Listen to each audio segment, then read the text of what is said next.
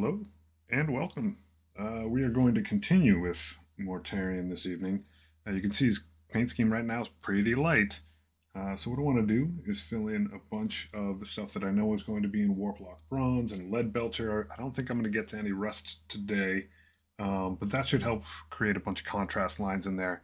Uh, this should be helpful um, in sort of guiding the rest of the color work that I do, because right now it's so light, it's really tough to tell whether there's any visual breaks or anything like that. Uh, I'm also going to take this lower edge of these wings uh, and green it up a little bit. I'm not, obviously that transition needs some help no matter what, uh, but I'm not quite liking it going to this sort of off yellow. So we're going to shift things up a little bit. I think I'm going to start with the wings because um, that has the most potential to be a little crazy. Make sure that my mic is actually working. It is crank it up a little bit, and we'll get down to business. What I'm going to use is Plaguebearer Flesh. And I'll set this guy aside a bit. It's going to be green. It's going to be a lot green. Um, what I figure I can do with it is uh, just sort of hit the edge a little bit and then loosen up the contrast paint, just thin it up with a little bit of water, and then I can uh, dust it a bit with Nurgling Green.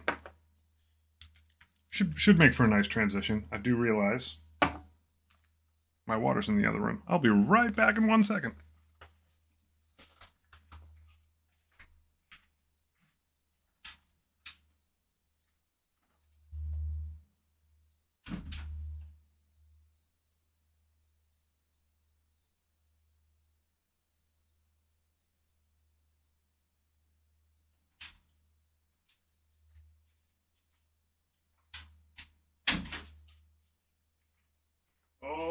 prep work and forgot my water. So here we go. Hey! I'm curious as to when you're going to paint some pink orcs. It is October, is it not? I have Goff Rocker um, as a model, and, and hey, thank you. That's very nice. Um, you're like wicked generous, and I certainly very much appreciate it. Every time I see that big green colored thing pop up, I uh, I get taken aback. Uh, so soon, I, I basically I'm planning on Mortarion, um, sort of needing a break maybe sometime in the middle, but I, I basically have a ticking clock. I will get to an orc, uh, and and on your behalf, I will order some pink or mix some pink, and I'll make sure Goff Rocker is an awesome model. I don't know if you've ever checked it out. I was literally do with a microphone. He's got like a guitar on his back. Um, with that recommendation, I will make sure uh, water bottle. There will be a pink orc. That's a great idea. I hadn't even thought of pink, and it'll look perfect on. He's got like a top hat. He's standing on like a squig amp. It's uh, it's dope. I'm excited.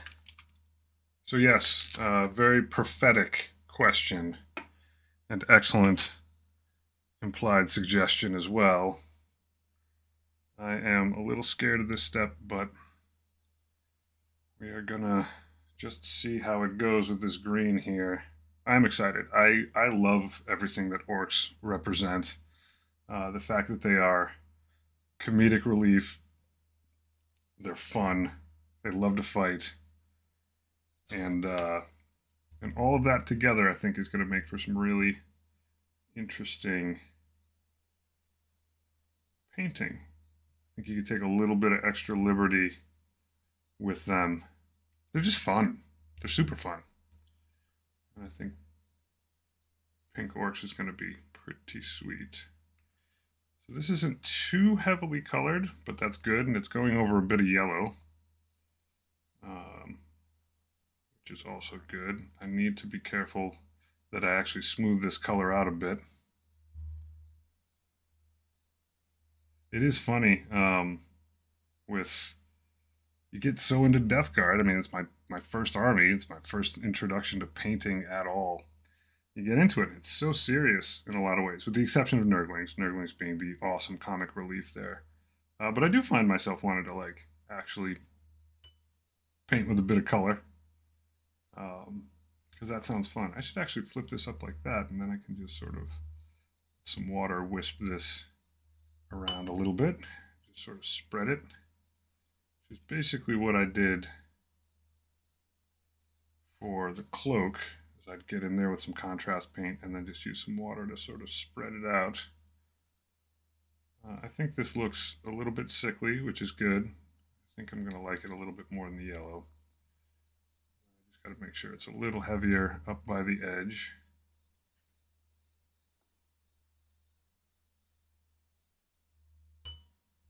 Took a few days off here and there recently. Actually, believe it or not, I actually do have plans every once in a while. It does happen. Played some video games online with a couple of buddies of mine last night. Um, but in other very important news, I found finally found my my local game shop that I think I'm gonna hold court at.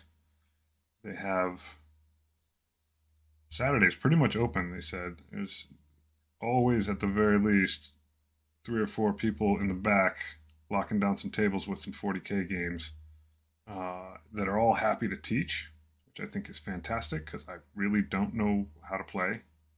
Um, so that's coming up soon.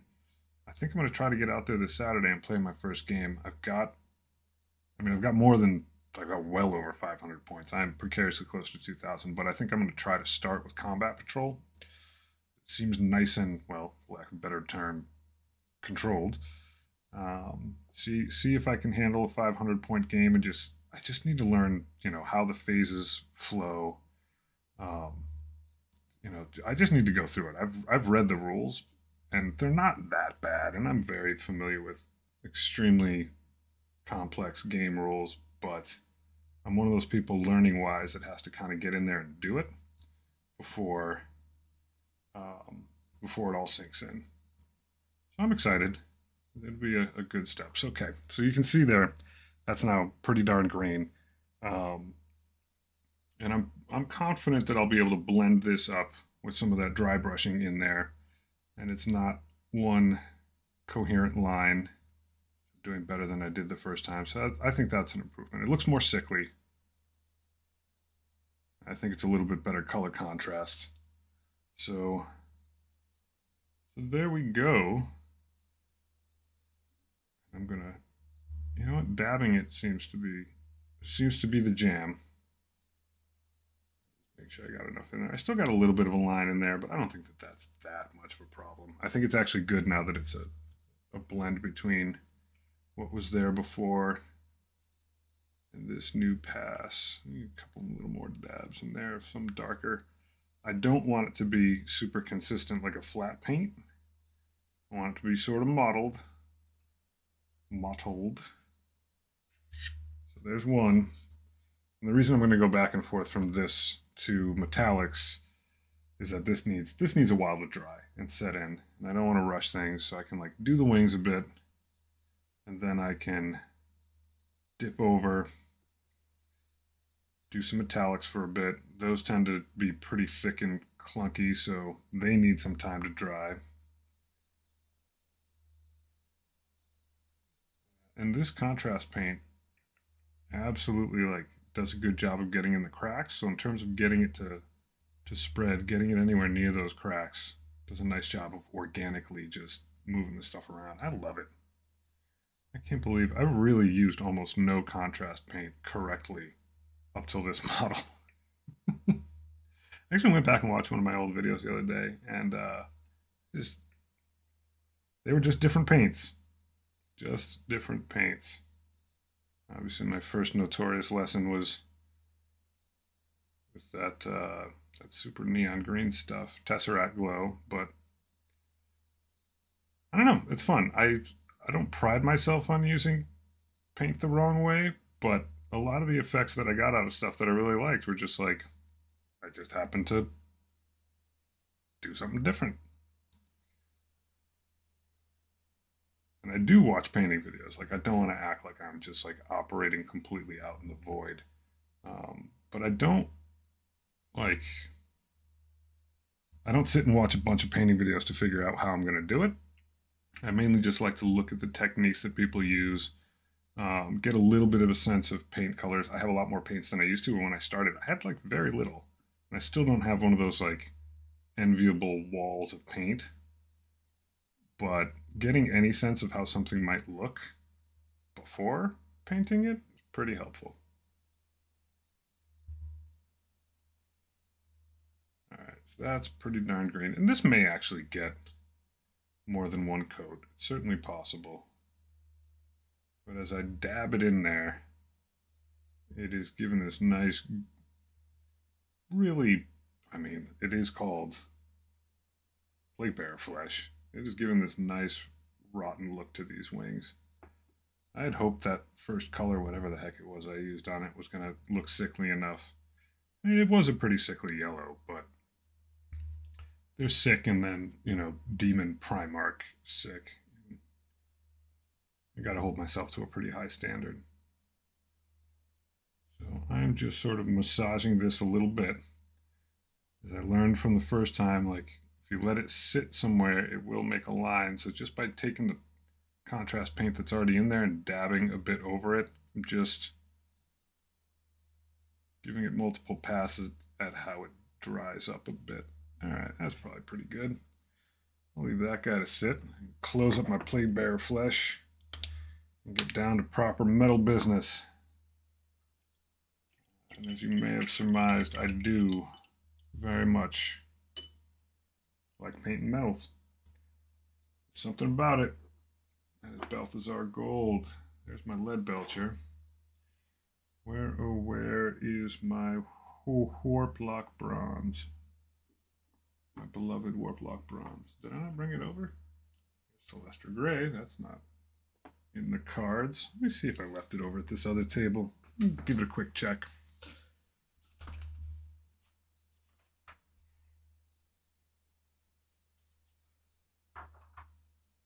Dryad bark, that's not Warplock Bronze. I truly don't know why I ever moved this paint. It's a tasty beverage in and of itself. It's getting pretty low. Well, not low, it's just. It is low. It's getting pretty thick. I figure out if I can loosen this stuff up a little bit in the pot. So I don't just have to start over from, from a new one. And I do need to really suss out whether or not there's another brand that makes something close enough to Warplock that I can just use that in its stead. Because metallics out the pot. It's kind of weird.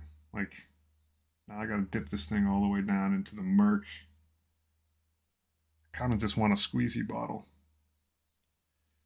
Alright, so keeping with my general MO, the things that get Leadbelcher are going to be stuff like the gun, um, though that meshed sort of barrel casing will get bronze. Everything else that is ornate, like all this filigree work on the pauldron, anything that is going around um, edges of armor and stuff like that, those will all get Warplock Bronze.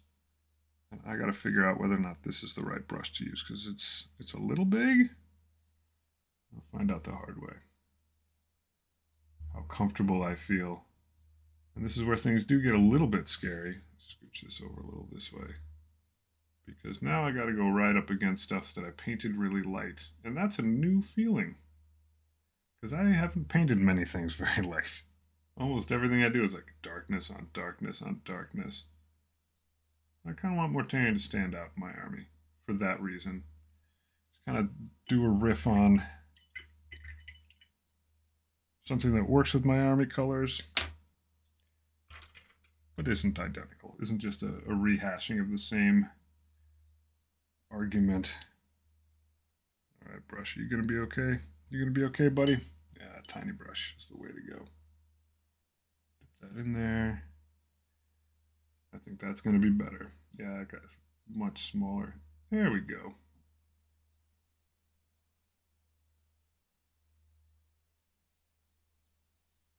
There we go. the edges of this I don't have to be too crazy about getting over the edge. these pauldrons still haven't gotten a wash. And with that tan leading into Warplock Bronze, that wash will just fill right into those edges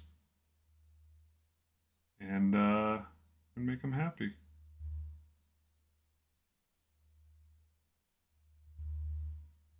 Too thin. Grab a little more glop. There we go.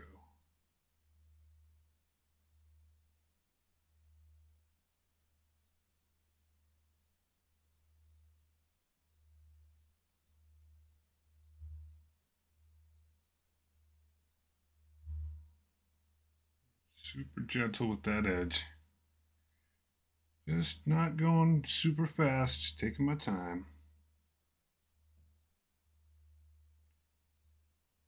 not the prettiest edges I've ever done, but a little of that is just me being kind of cowardly. You can always go back and hit them again. These do look kind of janky though.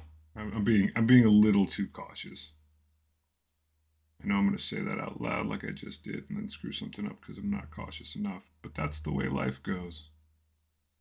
It's okay to eat your own shoe sometimes. Shouldn't try to. There we go. There we go. That's looking metally. Do need to tighten my glasses up to keep sliding down the end of my nose. Which I guess is good for the old man look. But uh, they're actually transition lenses, not transitions, uh, they're bifocals with the without the line. So I do kind of need to stare down my nose with my glasses in place, but it is what it is.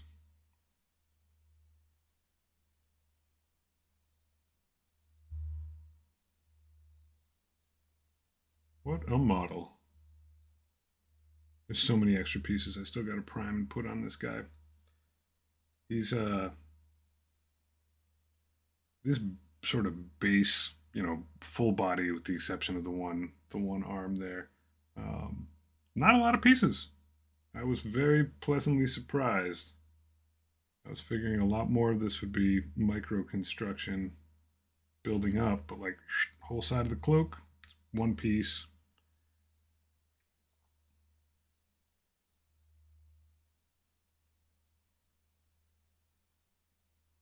But he's still got a lot of chains that hang off of him.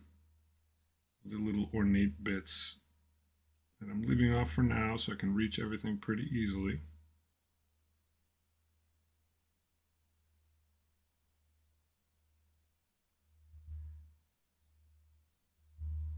I will say that this Warplock bronze for some reason is not really sticking to the primer all that well. Not all that well. It may end up needing two coats. It might. Should be fine. This is good relaxation. I still have no idea how long this is going to take me to get through. Can't even put an estimate on it. Oh yeah, there's some good tremors.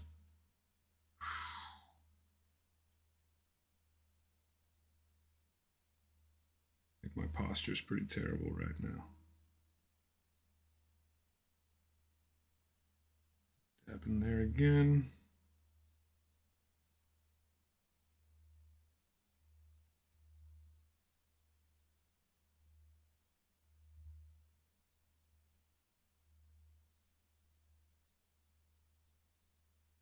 Just get this edge lit up.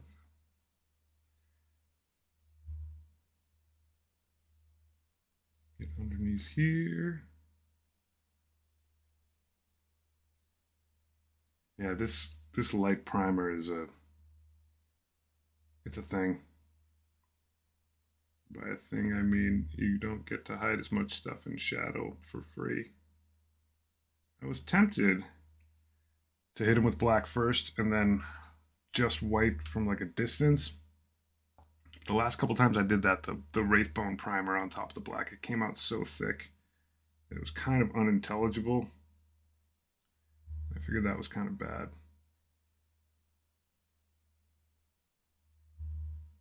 My it worked well on my Tallyman because I wanted him to look dusty and crusty, but general practice, I was really worried that I was going to eat up a bunch of detail on this model if I did that. All right, so those are okay.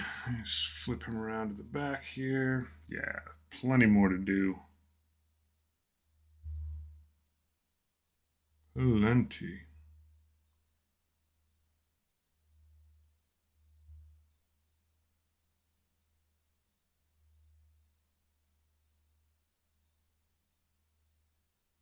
Good job, buddy. You just sit nice and still. Scooch myself a little bit. There we go. I think that's a little bit more settled. Can actually set him down a little bit. I get so excited to paint that I, will just like contort myself into the worst possible position and then stay in it for a while, then realize later I really need to move. I just need to be more present minded. It's so engrossing. Just sitting here, painting these wonderfully evil looking dudes. It's a good exercise in being present minded, knowing when to pause. Move yourself around a little bit. Readjust. Even just pausing to recenter yourself can be super helpful while you're painting start going down a weird road, things aren't working out, just just breathe a little bit. All right, there we go. There we go. That's looking good.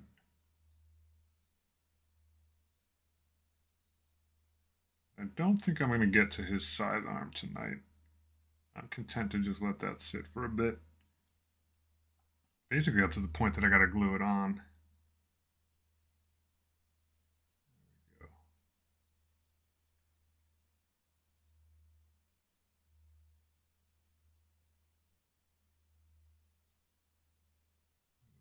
there.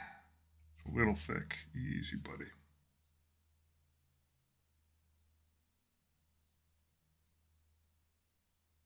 Just work your way through it.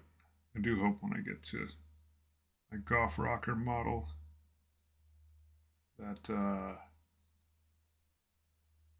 the shakes work out.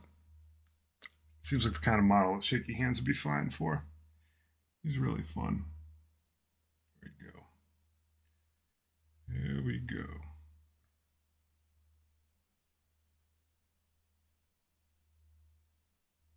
And on super thin spots like this, I'm I'm really not brushing. I'm just touching the brush to the model and then just just giving it a little dab and just letting the paint work its way around.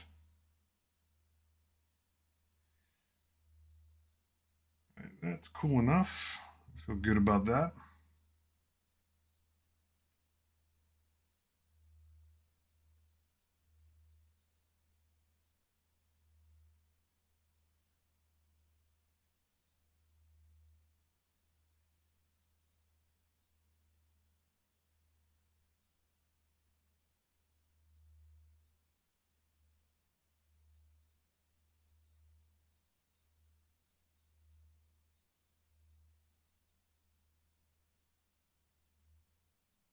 There we go, just taking my time with these lines. This part is nice, nicely raised up. So as long as you're slow, you don't flick the brush around, you stay in pretty good shape. Underneath.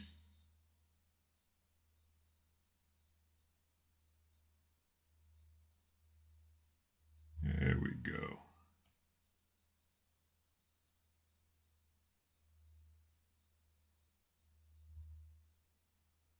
Give this bottle a little shake. Without shaking the table.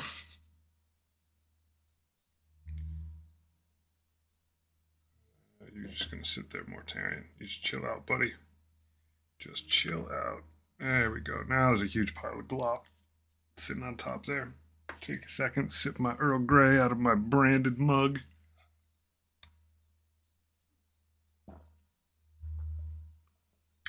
That's good stuff.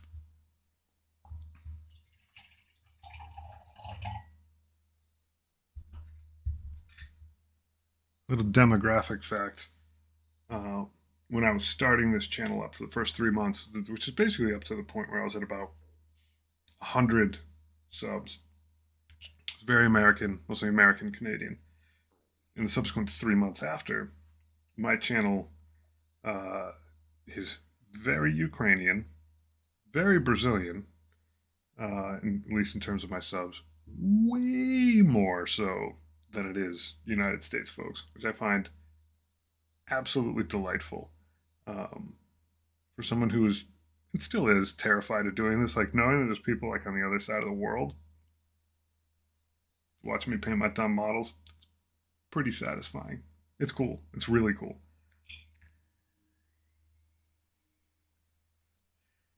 I picked up a lot in Brazil in the last couple weeks. Really makes you think, you know? Being able to just plug your computer in, have internet, push video out to the universe. And it's not that anyone can watch it, but a lot of people can. I think it's neat.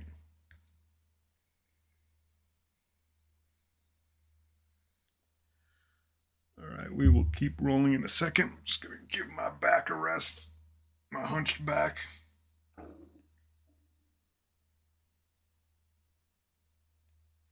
I don't know if you can hear my stomach gurgling, but I just plowed through a bunch of wings that my stepson brought home.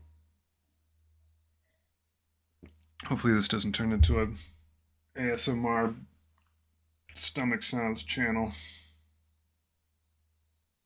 There we go. More paint. More full, thick paint. All right, it's nice and thinned out on my wet palette. Clear the brush off a little bit. And we'll keep on trucking.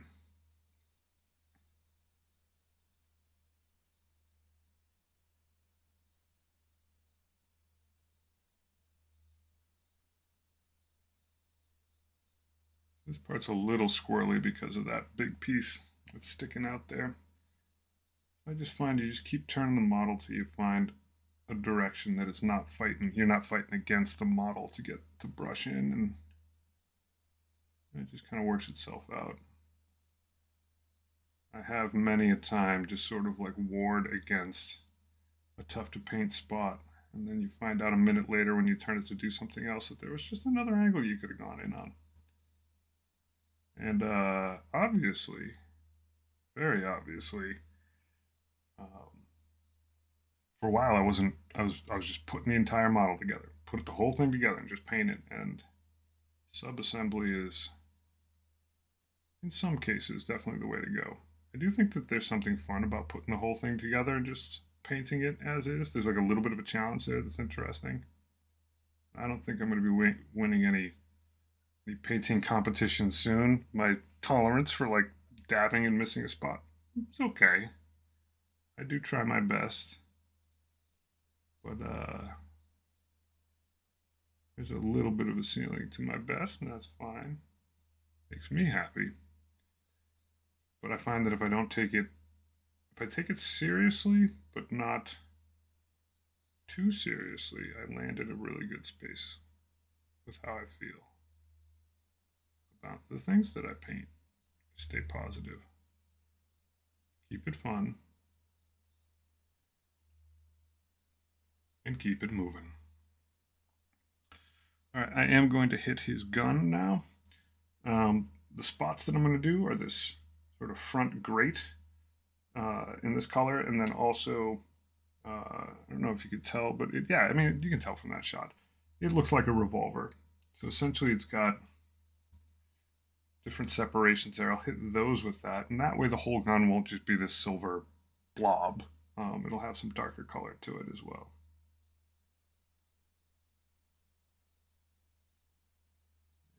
Thin you out a little bit, buddy. See that big glob sitting on that brush, just waiting to be a problem. Set you down gently. Take a look at this brush. I think, yeah, it just had an extra piece of fuzz on it. There we go. If I set you down, I can plant my pinky. And I'll do something bright and plasma colored in between these, but to get these sort of drums, this drum painted on all the edging, that'll look cool. The hammer's tempting to hit as well, not just because I accidentally hit it. We'll see. I might hit that too.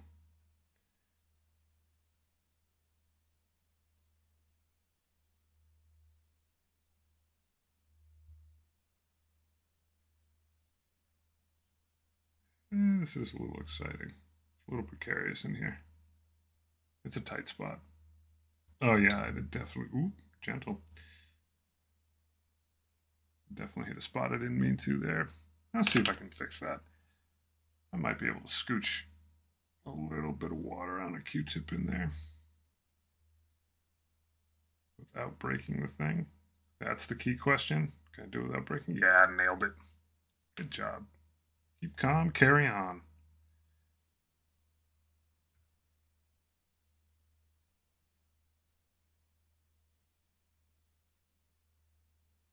There we go.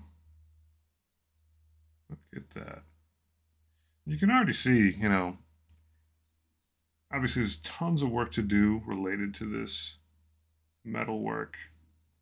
But you can already see, like now it's got some dark lines in there. You can start to better envision how you want different colors to work because you've got things breaking up all that light light section.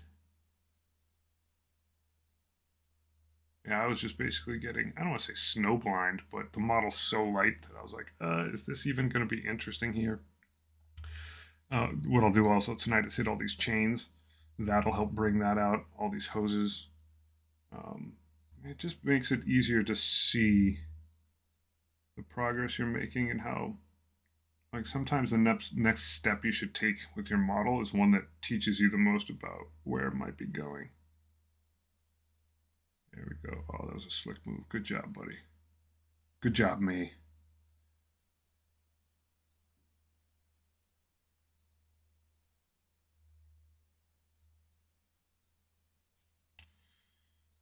This is an absolutely beautiful gun. Absolutely beautiful. It's a work of art. I can see why in the books everyone speaks so highly of it because it's absolutely gorgeous. Thankfully, it grew to the size of Mortarion after it became a demon.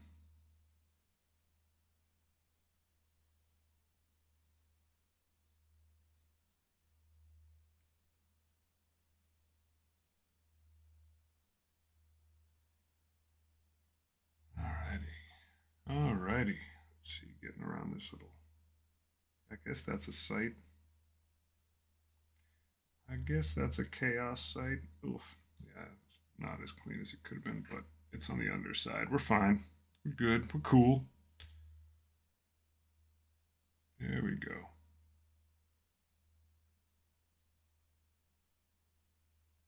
Yeah.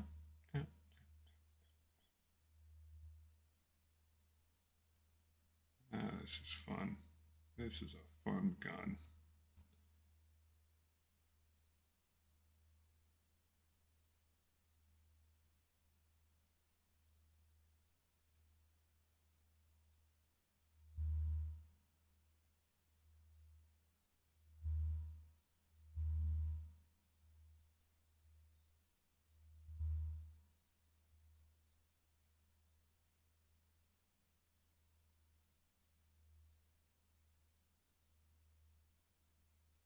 Yeah.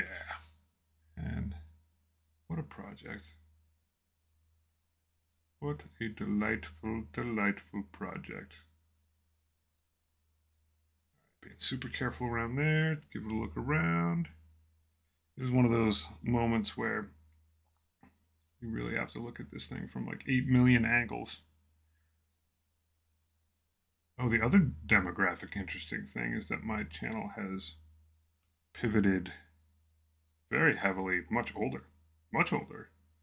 When I started, the first month or two, it was all pretty much exactly my demographic. It was American white dudes, age 40 to 50. And now,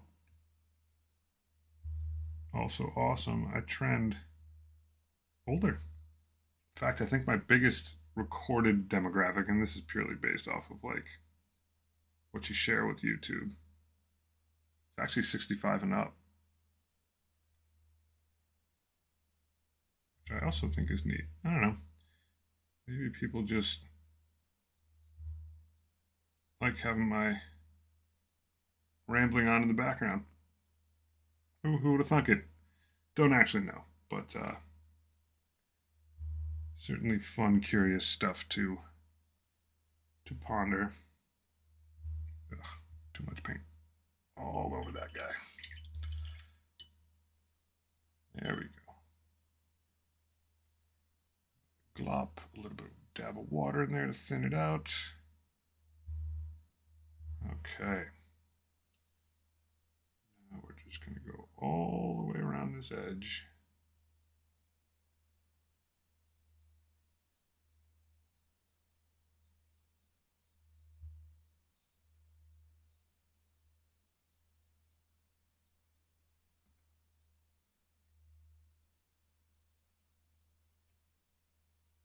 Just keep it nice and slow and steady. Nice and slow and steady. Right, that part's going to be Leadbelcher. Stay away from it.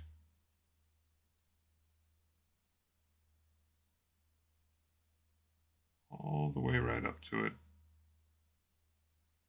Just hit this edge. Oh, shaky hands. You can do it, buddy. You can do it, shaky hands, McGee. There we go. Whew. All right. Getting some metal in there, looking good. Don't want to hit the glove, but just want to get this whole edge.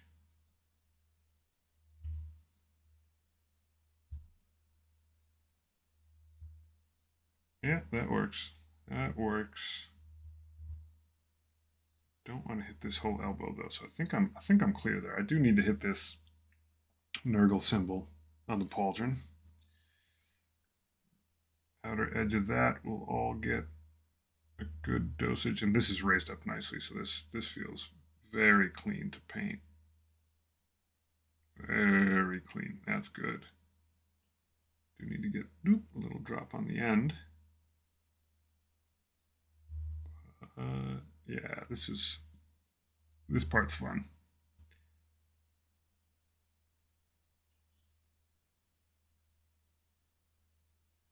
I did just get to the point in uh, in the Magnus book where he just went and tried to talk to the Emperor, and I think it's three different books now that I've read, which means that I think it's exceedingly intentional that the entirety of the conversation that the author actually lets you see is just the Emperor saying Magnus, Magnus saying Father, and they don't give you any of the rest of the conversation. You get some context around it, like Magnus absolutely knows that he like broke the great work. He knows that. But I'm not entirely certain with how psychic he and his dad are if there's any words other than Magnus' father even said. Might not have needed them.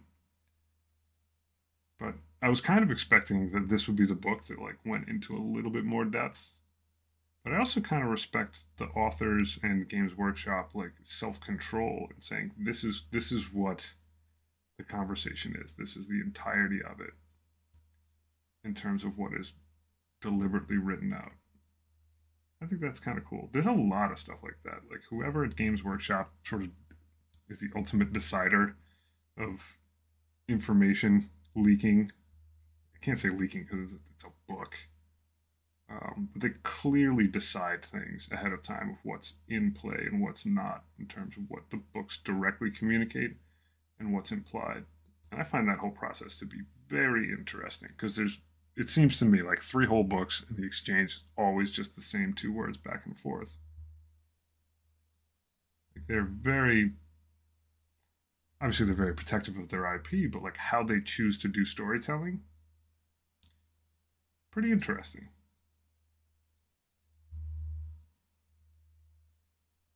The implication that even what you read in the books isn't necessarily accurate. I think that part is like super meta crazy.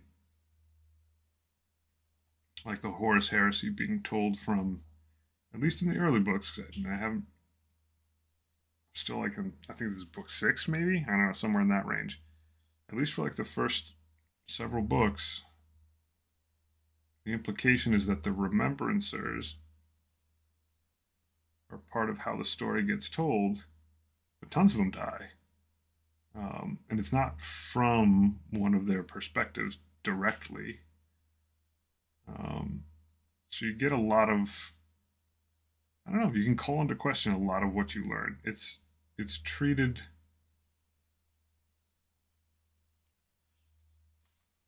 They're treated as mythology rather than uh, like direct correspondence from the horse's mouth. They're treated like it's almost like you're supposed to read them with the same sense. And apologies to anyone who's ultra religious watching this, but like the same way they say, hey, if you're reading the Bible, like you have to sort of keep the context of the time period in mind and who wrote it and you know how that needed to be translated eight grillion times. Um, and that you know what actually happened doesn't speak to the truth or non-truth of it. It's just that like expecting this to be a first-hand account is is a little bit of a high expectation i think that's neat i think they intel- uh, intelligently and intentionally treat it that way And I think some of that gives them the narrative license to sort of take a pass on being perfect on everything, which is fine. That's cool. I I recognize that it's a zillion books, and a lot of the core mythology came out of like snippets from rule books. So that's fair. Like you gotta do what you gotta do. But as a device, it's also kind of neat.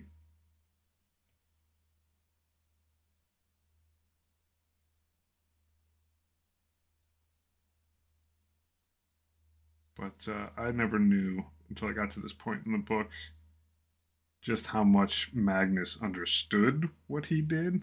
He gets home and he is like angry and depressed and realizes that, like, so he knows at this point that he was part of the grand plan.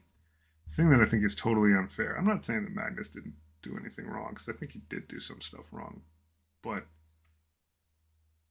when he realizes how he screwed up and he realizes that he was a part of the emperor's grand plan and that one day magnus would be sitting on that throne doing his thing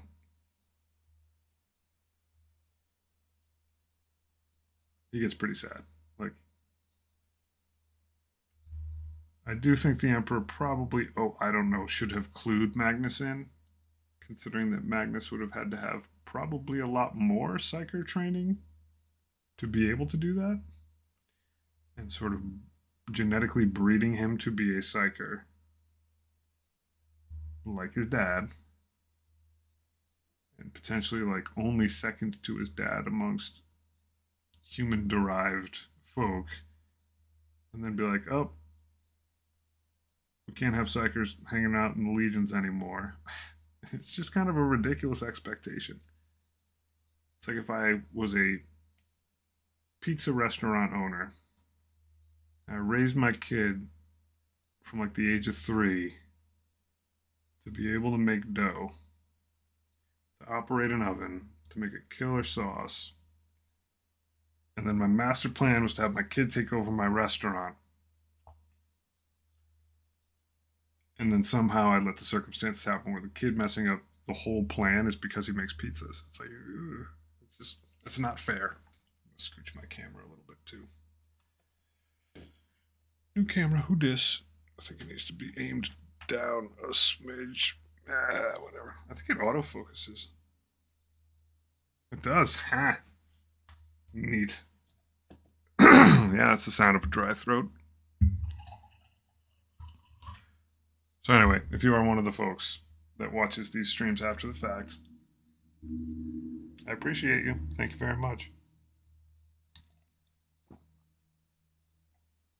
It makes my day. Throughout the day, in fact.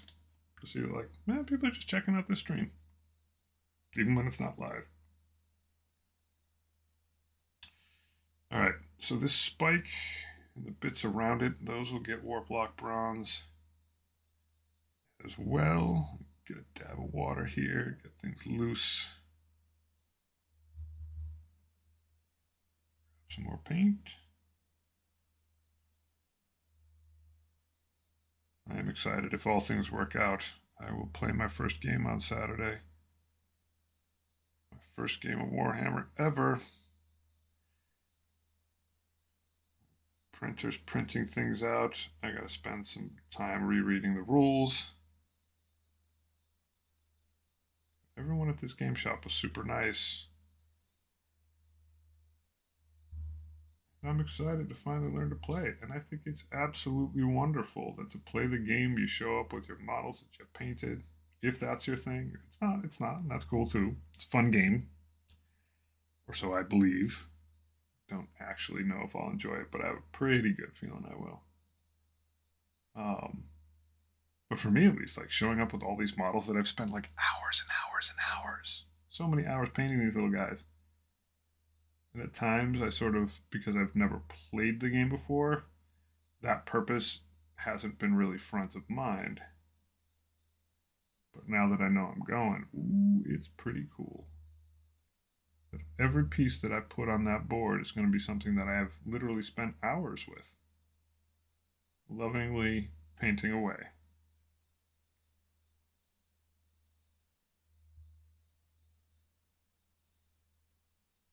What an interesting dynamic.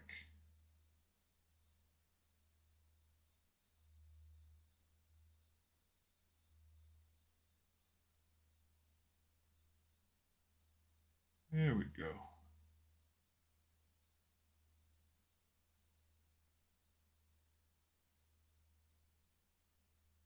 Get this whole.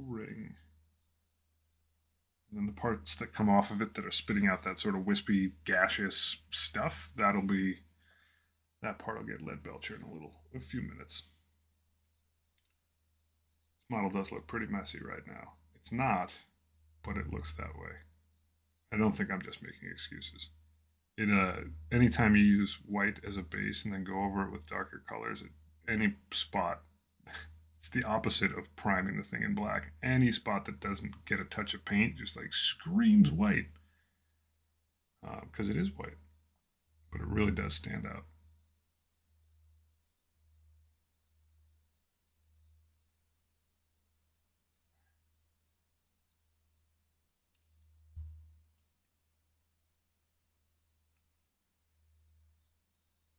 So this spot's a little precarious. I got to be kind of careful with it. It's spiky.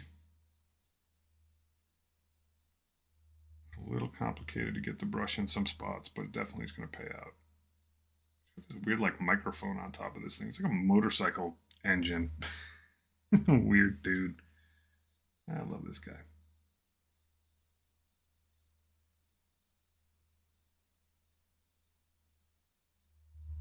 Ayatollah of rock and roll.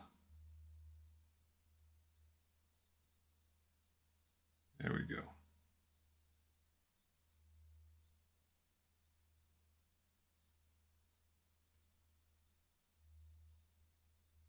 Yeah, this model's absolutely in the face where I'm like, it looks pretty terrible. It's not one of my plague marines, so I'm not trying to build drama but I'm not actually 100% sure that where I'm going with this is even going to look good in the end. A lot of Death Guard stuff that takes a while. A lot of different paint steps before it starts looking even remotely sane. And all models are kind of like that, unless you literally just, you know, prime them and, and dunk them immediately. But uh, this guy, man, this guy looks weird. he does not look like.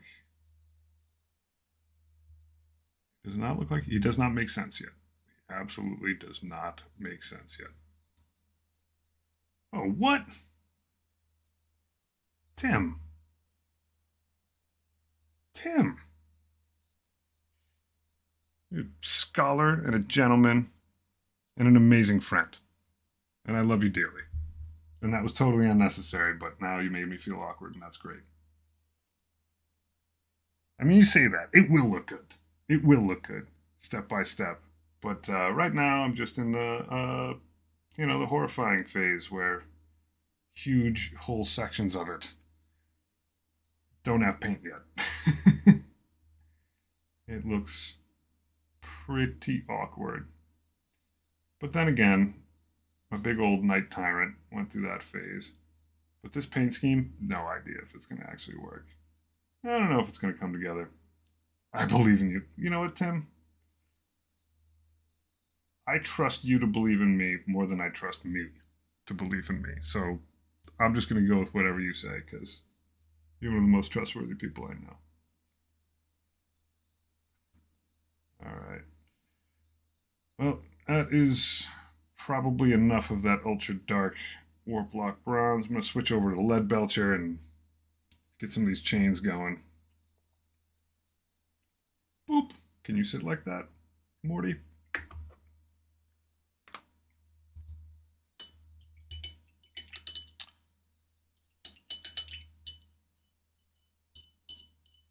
I think this is the weirdest thing ever that I'm like out here painting models on the internet and my buddy Tim shows up. I think it's awesome. It's like, what a tiny world. What a tiny, tiny world.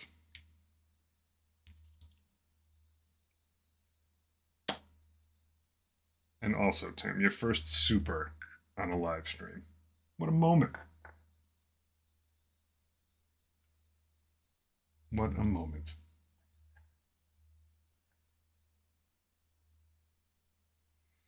Alrighty. Tiny world, tiny figures. You got it, buddy.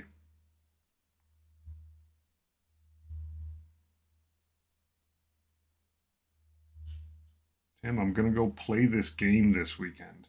How crazy is that? All of this painting. I'm actually gonna put these dudes on a board and have them shoot at other little tiny things that someone else spent inordinate amounts of time painting. I can't wait. Makes the days of just playing Blood Bowl at work seem so simple. So pristine. I got a dope case. Yeah, exactly. Get the measuring tape out. There's all sorts of like I mean, obviously, there's always like a local meta and whatever, like around who plays what faction and all this other stuff. But like, I wonder if it's weird to like show up like a construction dude style, like mega Stanley tape measure, if you're supposed to carry something more dainty. I'm just looking forward to like learning the local norms of like like I have no idea in terms of etiquette. Like the only thing that I know is like you really shouldn't touch other people's models, but that's like kindergarten. Like, don't touch other people's stuff without their permission. Like, that's no big deal. But I know, like, I can't wait to see that just do a faux pas because I'm like, I got no history with it.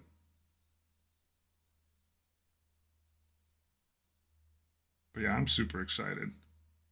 It's like an extra bonus treat as a complete game nerd to pick up the hobby of painting and then be able to take these mofos out there and be like, I'm gonna beat you up with these things that I just spent the last several months painting. It's really like an amazing payoff. I think this brush is too tiny for this work, and I'm probably damaging it. It's going over a bunch of chainmail, so I'm gonna, gonna give that little guy a break. More than earned it. I'll go with a super mega brush.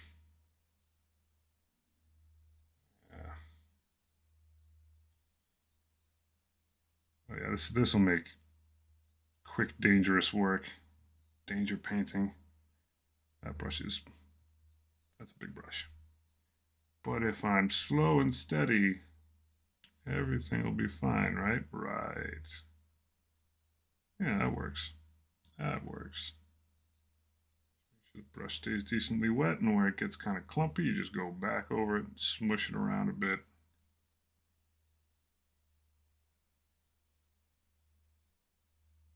Yeah, he's kind of pretty. I think I need to make the cloak a little bit darker. But I'm learning the patience of like, you can go over it two times if you feel like it. I'm no longer clumping everything on so heavily in the first pass, thank God. Though I do war against multiple multiple passes still. Alright, looks reasonably chainy. Make sure none of it clumps up too much. Don't want to fill that stuff in and lose the texture. So, soon, but not too soon. Um, I have dry brushed this a bit in a couple spots, but it was like way too early. Underneath this cloak stuff, I dry brushed it first with so silly. Um, like I started in, I mean, what is essentially that white color that's right there, and I dry brushed it with a whiter white because that's how you do. Um, just so that I mean, you can see where it's like dark in some spots where it's recessed. This contrast paint like gets in those gullies and gets thick. So I, I, I used a whiter white to dry brush it first, put the contrast over it. Then at some point near the end, I'll dry brush again. And I generally will do that with a slightly different rather than just a lighter color. Because it, I don't know, because I saw someone do it once and it looked really cool. I don't want to act like I have a very good explanation for why, but like you just get a lot of extra neat fine detail in by say like with this wing i'm probably going to dry brush it with this like gnarly looking nurgling green because it'll like contrast with that red a bit and it'll also help blend in that color basically my, my painting schemes are just a system of half-baked theories that sometimes work out um, sometimes I validate them a little bit, but they're they're mostly half baked. The things that I feel like make sense, or that I did three times and didn't hate it three times. It's like saying Candyman or Beetlejuice. It's like, wow, if it worked three times, it's good for me. Yeah, that's art, man. Um, well said. Um, like I am, much to the probably uh, not much evidenced by this channel, but I'm actually a pretty decent photographer. Um, and I draw decent diagrams, like, but I'm like a whiteboard jockey. Like all the genetics that went into like for painting and stuff, uh, kind of went to my sister from my dad. My dad's great painter. My sister's like studio artist. Um, or at the very least, I never attached to it. So the idea of having a brush in my hand that isn't for painting walls is like pretty foreign. I never really went through that kind of art process of just trying crap out and going for it. So maybe, I don't know, genetically is probably a bad explanation. It probably is in my genes somewhere. I just never flexed on it. Like I cared about music creatively, but most of the drawing, painting stuff um, I did very utilitarian things. Like I can I can draw lighting pretty well. Strangely enough, I cannot get lighting. I don't even know how to think about lighting on a model, but like on a 2D drawing, I can handle it just fine.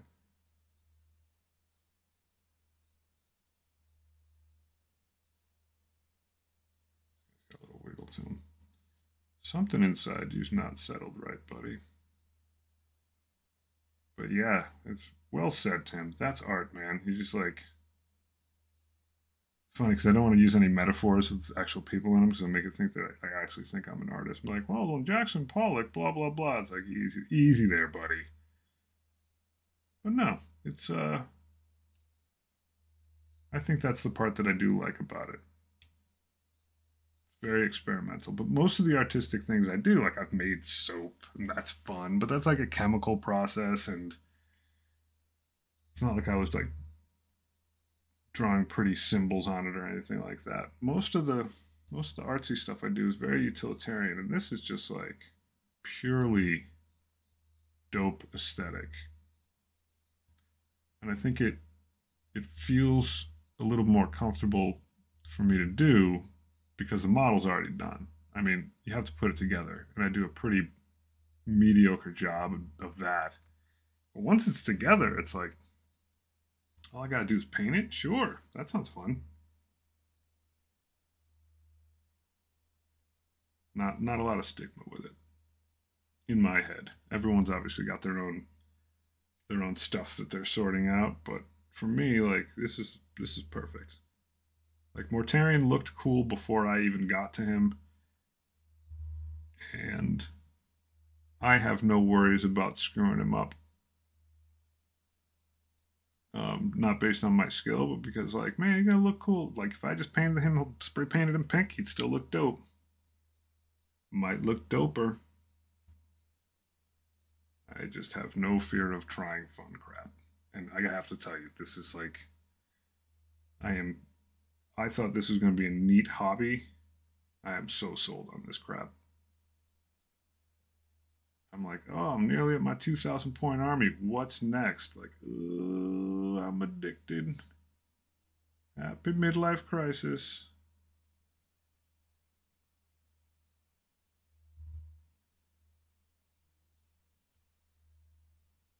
There we go. I'm just out here to please Nurgle. That's about it.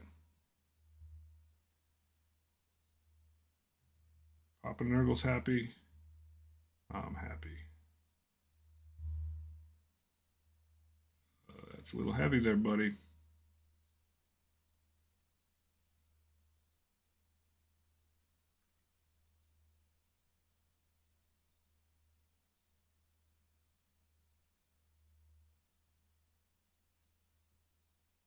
I always feel weird like I'm supposed to take my shirt off whenever I get a super from someone. It's so so weird. so awkward. Oh, people are so nice.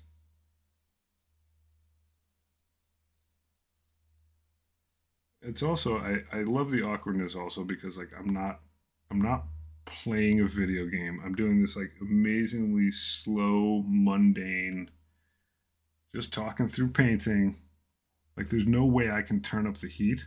I mean, I could, but like, there's no interesting way. Like, I'm not gonna be like, oh, who wants to see me break this model? Blah. It's like, nope. It's still just gonna be monotone old me. Shaky hands McGee. Painting Mortarion I'm talking to myself. uh,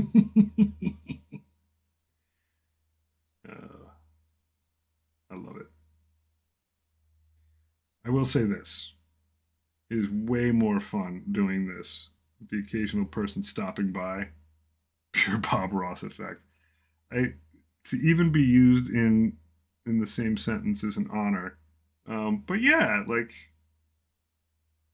I my aspiration is to be like back in the day, I could go down to my local TV affiliate and they would have to give people public access time, and I could sign up, and I could do my little painting show for a half hour a week, and someone would donate a little time to maybe edit some stuff together, and and that'd be cool, and you know, maybe a few hundred people would see it. That's like, I don't think that that's a bad aspiration, and that's kind of where I'm at now, except it's like six thousand subscribers, but like clearly, it's not like everyone's tuning in and watching me paint models every night.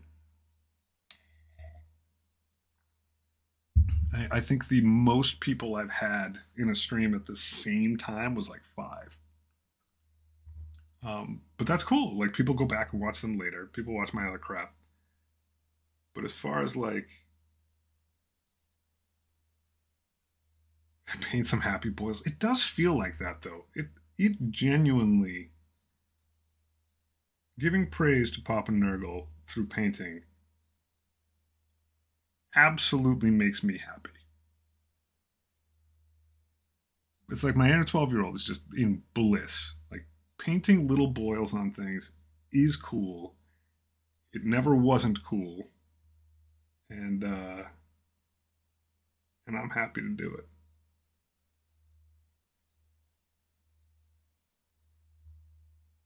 It's wicked cool. Like it's it's so neat some of the things I paint are so absolutely gross.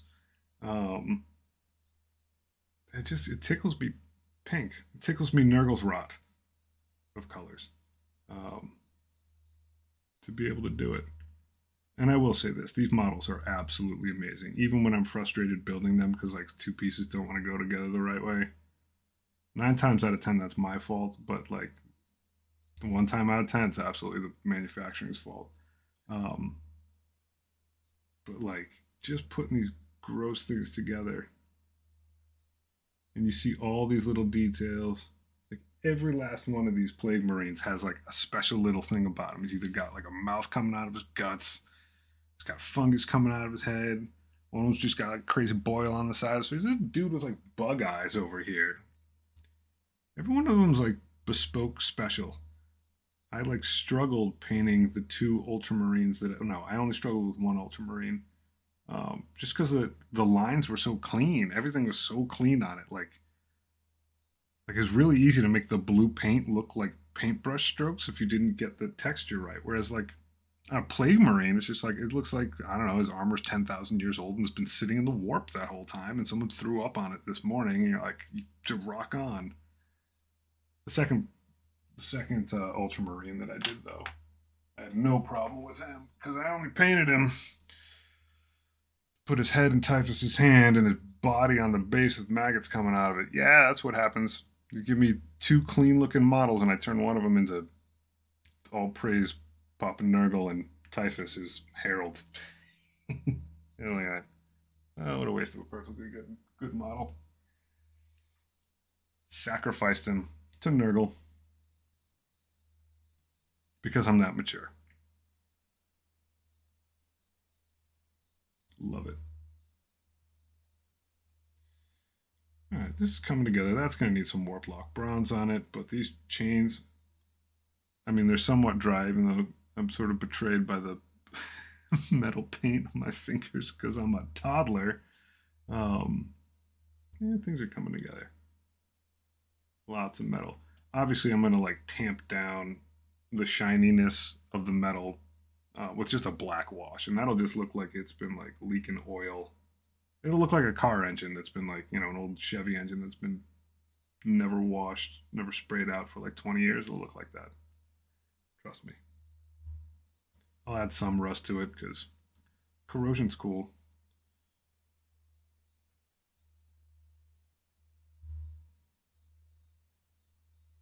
Alrighty. Lots of little details. I've made my peace with the fact that like every time I touch this model and I flip it over, I find something that in a step I was supposed to do before I haven't. Like this piece that's white, I didn't even glue it on the first time. I was like, just missed that step. So now he's on there. I got to hit him with that same purple. Um, notoriously, I know there's spots with chain on this model, but I just won't hit in this pass. Just won't see him. We just get model blind. That's okay. It takes me a lot of passes. Some stuff I don't get back to in good time. That's okay. Because they're mine and they're sweet. But all kinds of models in my setup over here. I have to get them based by this weekend because I'm not taking them out on the town with naked bases because I have principles. This is not savagery. Uh, where was I starting with this? Is that even supposed to be metallic? Oh, it is now. It is now. You'll be metallic, sure. And then the rest of that I'll hit with bronze on the bottom. Yeah, that'll make sense. There are parts of this that I... It doesn't happen as much on a model like Mortarion because it's big. Those Plague Marines, I just find details like weeks after I'm done painting the thing that I just didn't see because of these darn old eyes. Like, oh man, there's like two maggots sticking out of that shoe, and I just painted over them brown. I just didn't see them. Everything's so tiny. It boggles the mind how people see on Instagram, people just post like absolutely crazy pictures of these super tiny models. I'm like, one, I'm not sure if I was in person I could see that detail. It's not a problem. I, I, that's not a criticism. it's more like I can't see so well.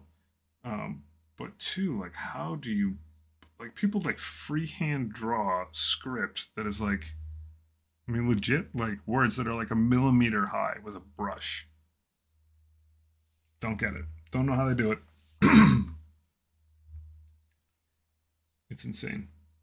It's very inspirational, but it's like inspirational in the way that you're like, wow, that was awesome how you ran that marathon. I am never doing that.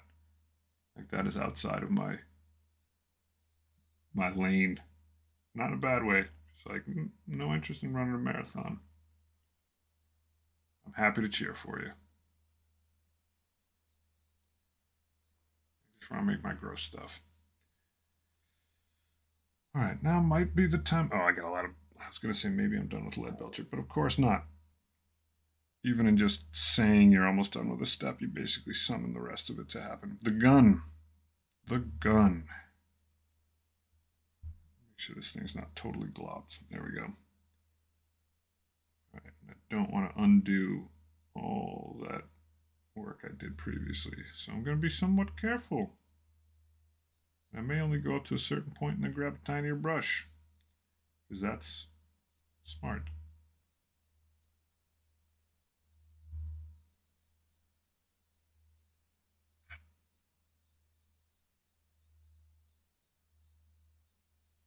What a business model this is. Like, just about everyone that plays this faction that is like trying to be a serious contender plays in tournaments, like they may not play with Mortarion in their army every single time. The meta could change. They all own him, painted. Like it's not a cheap model. like if you like this faction enough to play it with any level of seriousness, and frankly, I've seen tons of people with this model who are just like, man, I just play to put this model on the table. Think about that value of a customer. If you get someone hooked on Warhammer, I'm absolutely proof of that. Like, you're good to go. Games Workshop. You win this one. Not a whole heck of a lot I could do about it. And I know plenty of people were like, well, then I switched over to this game or that game. And I don't know that I will do that. I think I started too late. I think people that switch out of Warhammer like started 20 years ago I started six months ago. I have not tired of the lore, of the, of the single faction models that I've. Oh, I am branching out. Um, I ain't tired at all. I'm just getting started. Oh, good metal gun. And I'm skipping those little things in the tumblers because those are going to be like super, super bright plasma looking stuff. And that over white will be nice. Those will be blazing. Touch the finger. I do think part of the reason I'm so slow is I'll often use a brush that's super, super tiny. I'm scared of being clumsy.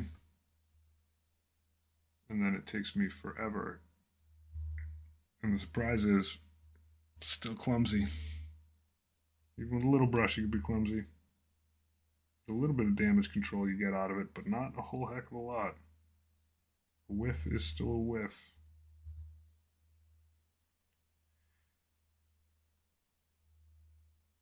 There we go. Did I hit that? No, I stayed clear. Good job. Safety first.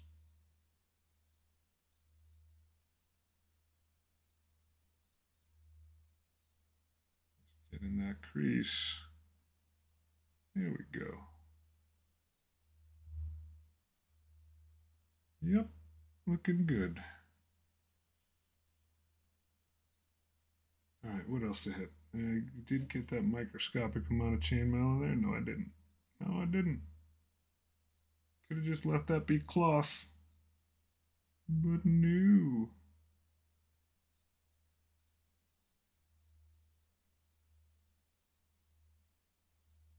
Alright, that tube's good.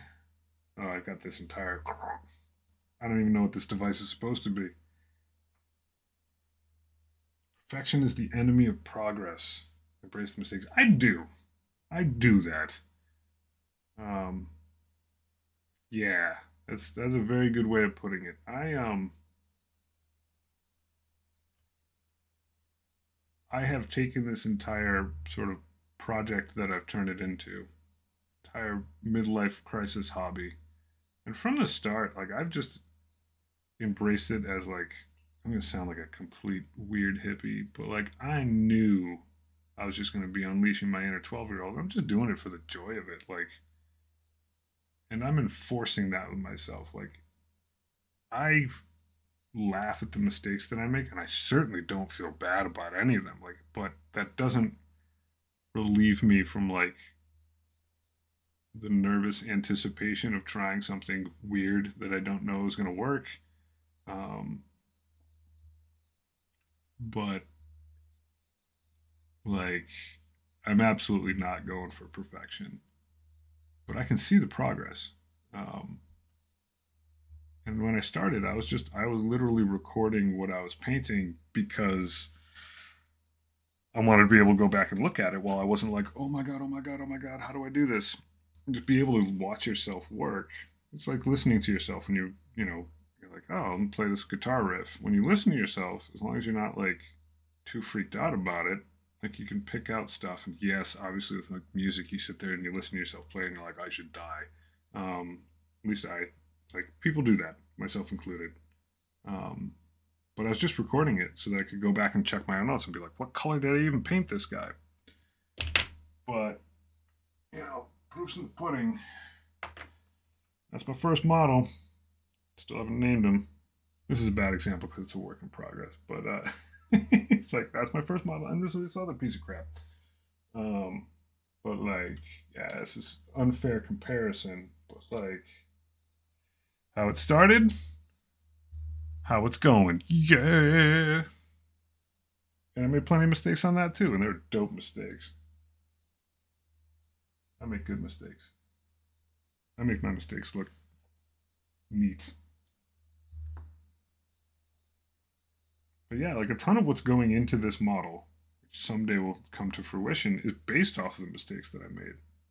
I wouldn't take those things back for nothing. I can't tell what's metal and flesh. That's how Death Guard work.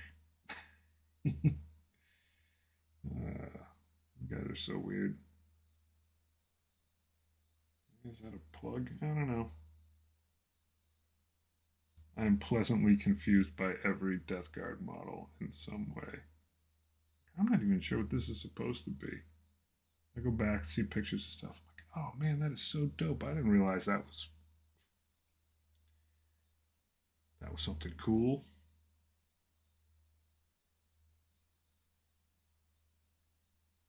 Man, this thing is so personal. So personal. it's funny that that Knight Tyrant and Mortarion combined is like half of a 2,000 point army. Wee! It accelerated the the process quite a bit. I'm glad I painted that big boy. Man, he was fun. It was like 15 hours of footage of me going like, what the hell am I doing? But I knew that guy was going to be cool, no matter what. And he's big enough where like if I, if I genuinely screwed something up that I didn't like, I was like, I'll just paint over it. Like four times. He's like, with a tiny model, you can't really do that because eventually they just like look like the Stay Puft Marshmallow Man from all the codes of paint. But the dude that big, I was like, I'll try whatever. Don't like it tomorrow? Paint over it. I'll do it again. Turns out I liked a lot of it. The gun took a while though. The gun I had to try a lot of different things with. I painted the the plasma-ish gun I think four times, but I was trying just wild stuff. Let you sit and dry for a second. I'll just pull it. Oh, I'll just snap this model. Oh no, it's all on magnets. You ain't got nothing to worry about yeah, getting this thing shiny. It's still not where I want it, but like I used a weird, uh, like Keller, Keller shift. Weird. Uh, I was gonna say vermouth. It's not vermouth. It's uh, veneer. No, not veneer. Lacquer. I think it was. And that kind of worked, and it's got some shine on the inside there, but it like didn't show enough. And I painted some yellow on it, and then I put some more of the stuff over. it. It's got a bit of a shine to it, and it's got a little bit of dry brushing around to make it kind of look like it's glowing. But I just kept I, every every night. I went back to this thing and like did a new coat or something on it, and now I'm pleased with it. But uh, oh, magnets, magnets. But with a model that big, you're just like, well, just try again, try again. I have some dope extra things for that model coming in the mail. I think they, they come in from England.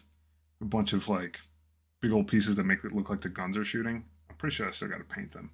Um, which is like big explosive blast, big thing of plasma coming out of them. I can't wait to stack those on there. All right. Time to spin this guy around and see what I haven't hit. I think that's going to get bronze. This I haven't hit back here. Found you. Oh my god, that's a lot of paint sitting on that brush. I got to loosen that up. Like a Q-tip. There we go. Safe again. Yeah, this brush is a little bit big to get in here. Big old meat hands. There we go. Have a sip of tea.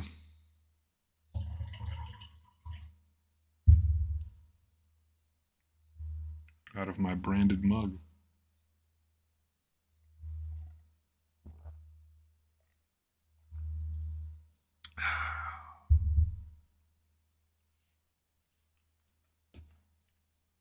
my my wife is finally accepting the fact that I'm not only an amazing husband and father, but also a global lifestyle brand, mug salesman, entrepreneur. I uh, I can't get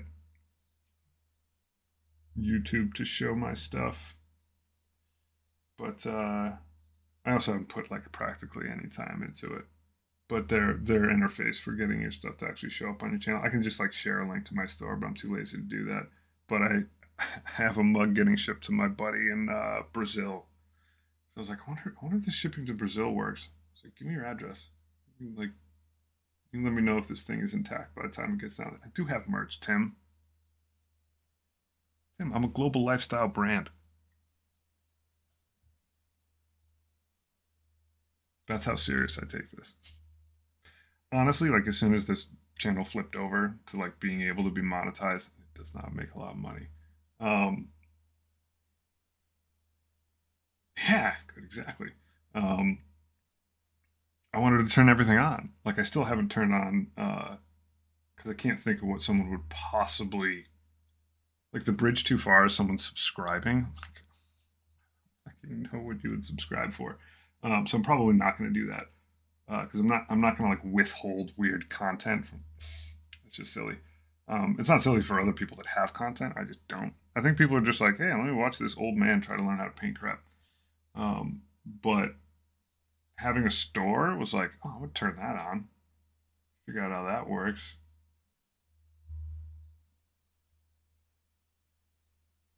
I have to. Uh, at 10,000 subscribers, so a mere like 4,000 now, I could do charity streams, and that's something I want to do. Because, like, I have no plans of quitting my job and becoming a professional person that makes 50 cents a day, except for days when like Tim shows up and that other guy, Water Bottle, showed up. And that's a lot of money. Still can't, it's not quitting my job money, but it's make me embarrassed live money, um, which is pretty good money. Um, but like just from advertising, I make about 50 cents a day, which is like amazing to me. Um, it's insane. Just from doing this crap. All right. I'm going to set you aside for a minute. Mortarion's body. I'm going to switch back to Mortarion's wangs. Do some dry brushing.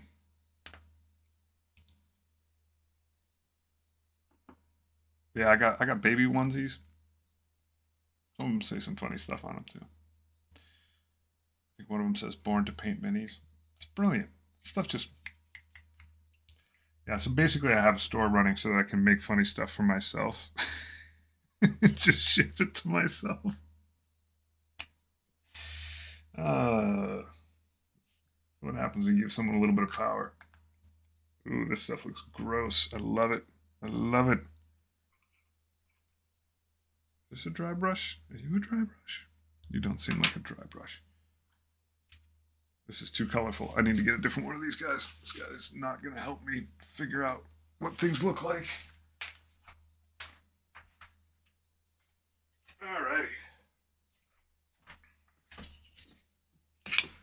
Question is, do I mess up a perfectly good makeup brush for this?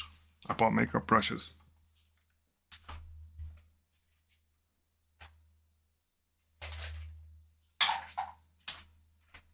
My endless quest try new stuff. These things weren't even expensive.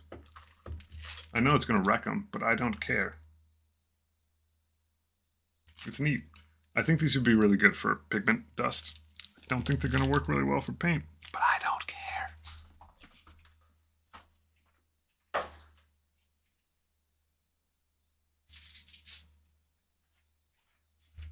We're going to find out because science is cool. All right, that's just a piece of uh, art board. Is that what they call it? Craft board. Do a dip of this in here. So the thing is, makeup brushes. I have watched a few makeup tutorials. Might be the way to go because they come in a wider variety of shapes. Even getting on there. I need more in the bristles. Go get in there deep, buddy.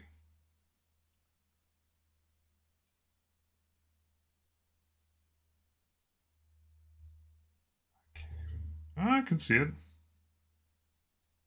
not heavy, but it's getting in there. I think I you know what? Boop. I saw someone do that once. I know it sounds terrible because I'm dry brushing, but they're like, you do need to dip the brush into water so it'll actually keep some of that stuff going. Oh yeah, that's Oh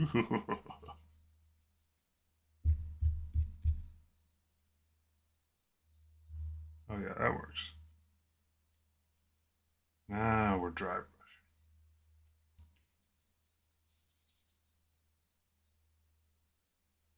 Now oh, you look sickly, Mortarion. Gets the job done. Tim, you're like my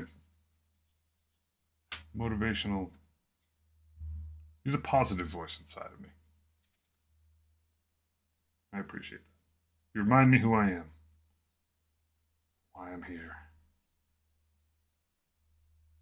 Yeah, that helps. You sort of see that, like, it helps bring this sort of like green up into there a little bit. Get a little bit of a fade going. My sloppy dry brushing technique. Yeah, working really well on blending those colors. Where have you been?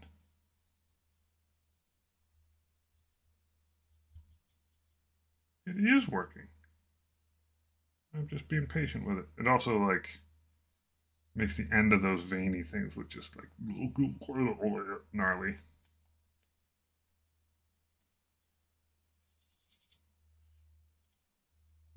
It's working. It's working. Yeah. At how blendy you look. That looks miserable.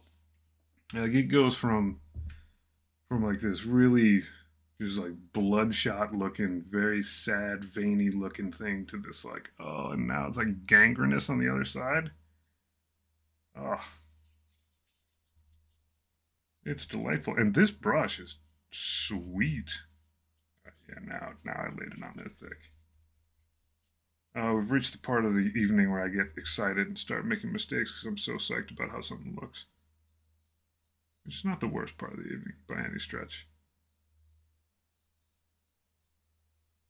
Okay, so we are blending a lot better now. And even as it gets up to that red, it's it's still pretty nice. It's a good blend. Oh yeah, you look gross did it, crew. Made his wings look miserable. That is. I am pleased. They look like they flake off. Just gross. All right, well, makeup brushes, and they're cheap. Cheap makeup brushes. Solid purchase.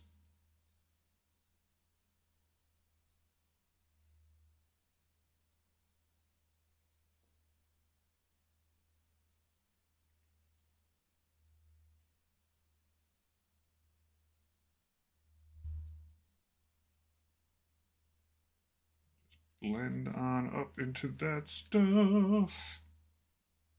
Oh yeah, Mortarion, you you don't you don't look healthy.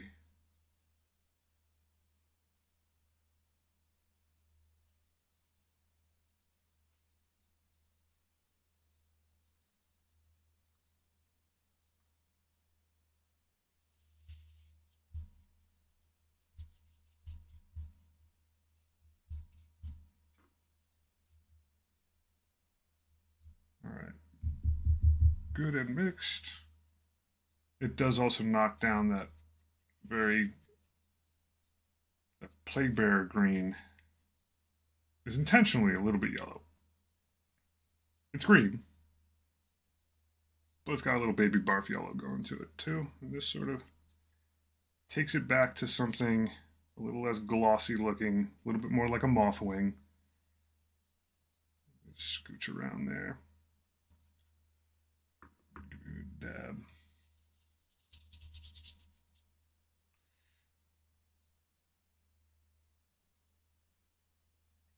Look at that, that's happy stuff. That is happy illness.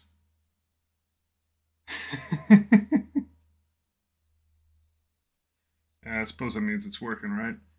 Suppose that means it's working. I know, right? Uh, you shouldn't have. All right, I genuinely, thoroughly approve of that mix now. Just get a little bit more in here. Get a little heavy-handed. Of course, now there's the backside. All right. Can I just get away with going over just with this? I think I can. I'll cut corners a little bit. Make sure that's thoroughly worked into that brush. It's heavily worked in there now. But I'm essentially doing more than dry brushing right now. We're like stippling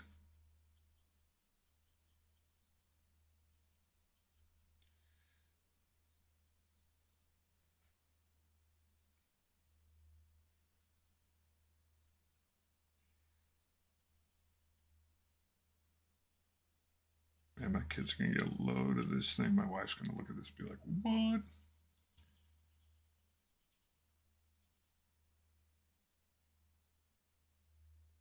Oh, Morty. You are ready for the vomit prom.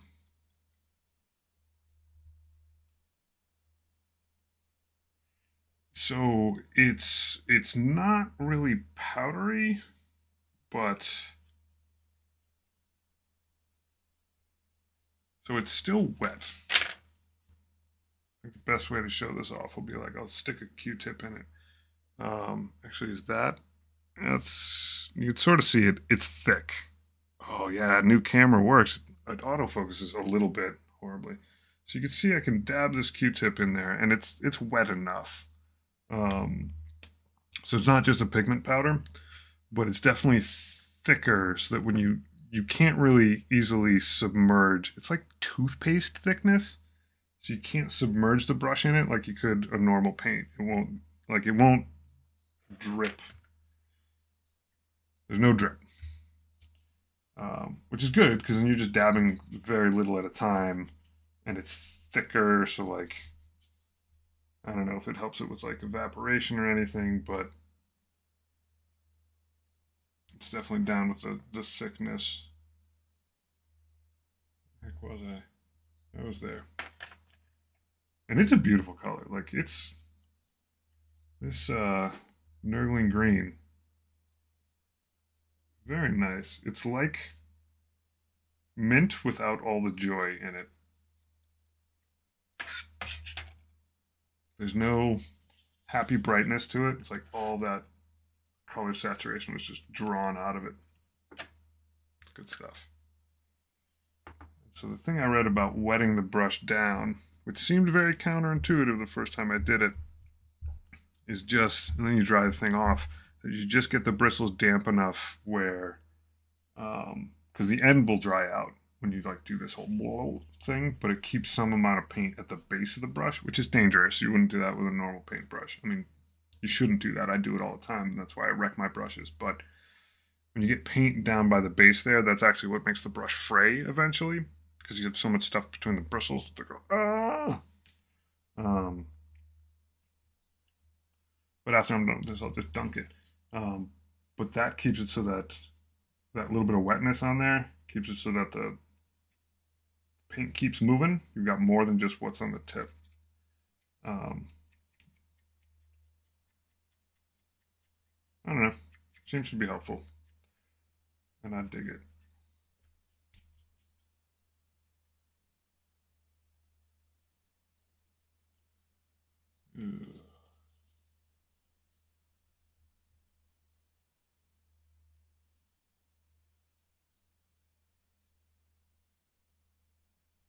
Yeah, dude, you are looking dynamite. You prom ready. It's actually pretty important that it was yellowy underneath this. Because as I get away from the yellow, a little bit more of a fade. There's still kind of a sad line there, but I'm just going to live with it. I think it's fine.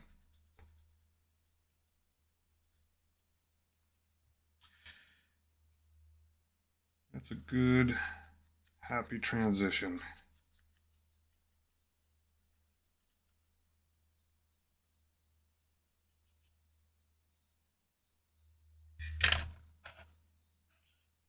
Wings go, getting close. I need to go a little further in on this wing than I have so far.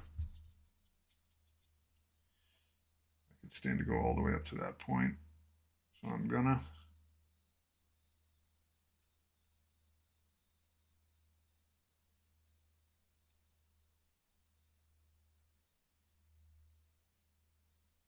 There we go. Take a brush into the drink with you. So yeah, now these have an absolutely like disgusting sort of pallor. The line that was super hard before is now broken up, which is good. It's still there. I still wanted like the last half centimeter to like kind of be like a little bit of a line going around it, but now it's just it's not paint by numbers. Um, yeah, you guys can sit aside for a minute and contemplate life.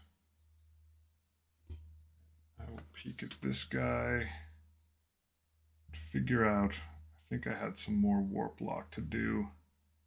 Could add, yeah, that'll be fun. Let's, let's do something different. Because I bore easy.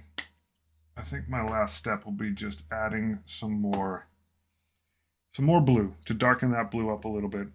And this is uh, Drakenhof Nightshade, which is exactly what I used the first time, but I was going over white. I was terrified. And I wanted it to fade, which it has faded, but I want the top to be a little bit darker, so doing a second pass with it will be very telling and hopefully a decent amount of fun.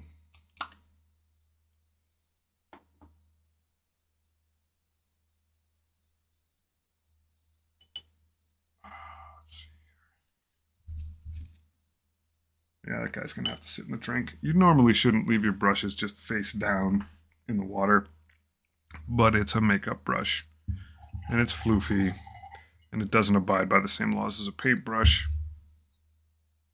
And if I say enough words, then it becomes okay.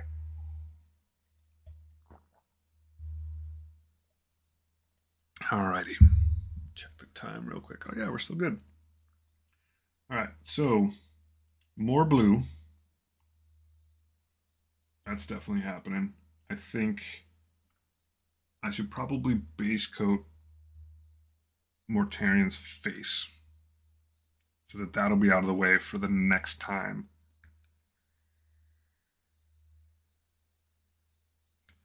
That sounds like a pretty sound plan.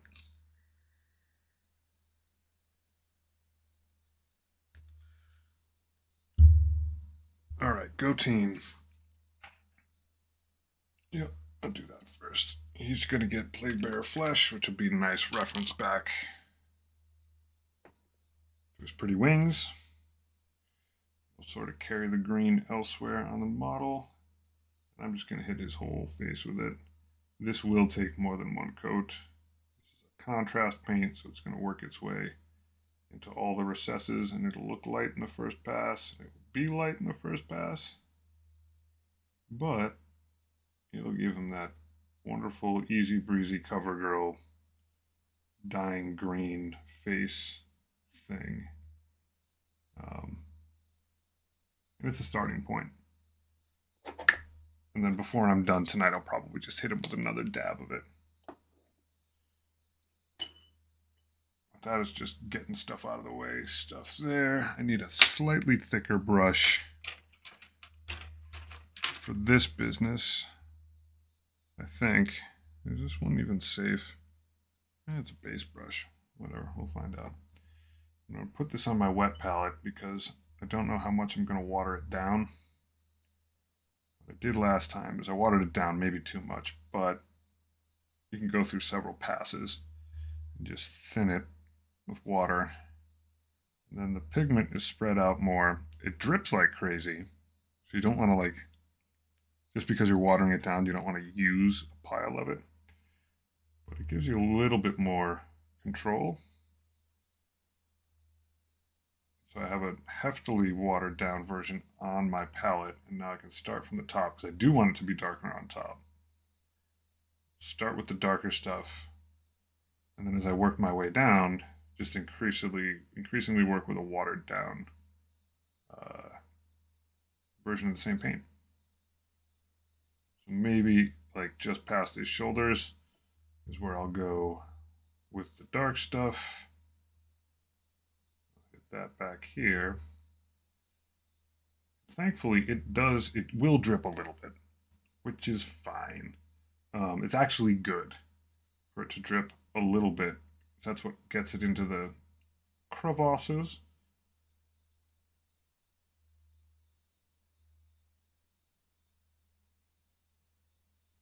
The looseness of the paint and the, I think it's the viscosity of it, where it's not like a standard acrylic. It just, it's like thicker than a wash, but thinner than a straight up acrylic base paint. So it finds its way into all those cracks and stays away from uh, sharp edges. Okay, so now I'll move back to something a little lighter. And now I'm just sort of splotching it on there and letting it drip a little bit. And then the last step that I'll do this is like 50-50 paint and water right now. Uh, there's a whole section of this thing that I missed last time. Classic case of like, oh, I missed a whole piece of that thing I was doing. You need some straight up blue. There you go. As I get down to about two thirds of the way to where it starts to fade into that purple, using this half strength version of this contrast paint.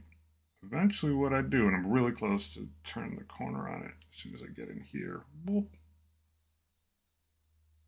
Eventually, now that makes sense.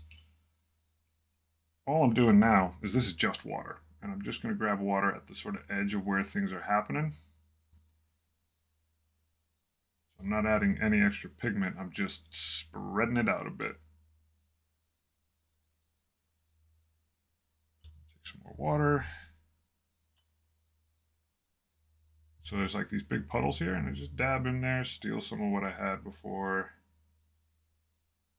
Fix a couple fonts that I missed last time. All I'm doing is spreading the pigment out. Not adding anything additional. And in theory, That gets us to a decent point of a blend, being somewhat careful. At this point, I'm going to dry my brush off a bit. So the hope here is that anything that is dripping down, I'm sort of catching at this point. It's not perfect, but it shouldn't be. It's literally like a 30 foot tall dude. Been chilling in the warp. Who's like part ghost, part zombie, part part Primarch, uh, part human. He wears a weird death cloak. It should not be obeying the laws of physics perfectly. And it's not. And that's my excuse, and I'm sticking to it, and that's half the reason I do Death Guard. Because it's not supposed to look normal. And I love it. Alright, so that blue is now darker, conveniently. I sincerely hope that this was Magos purple, because that's what I'm going to try to do next.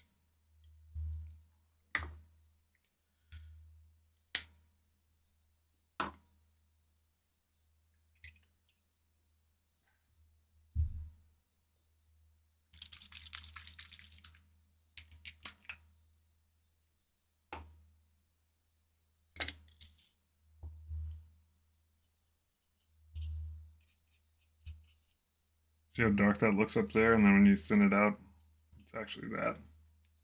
That's why we test things.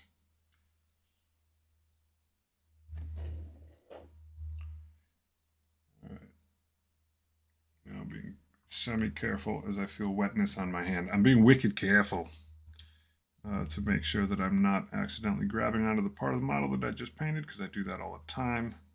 And it's extremely acceptable for most parts of a plague marine is extremely unacceptable when you start using colorful colors.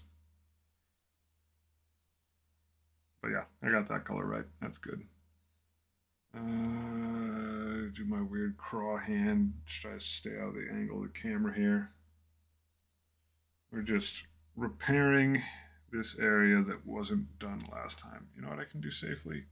That. There we go. Don't be afraid to readjust anytime.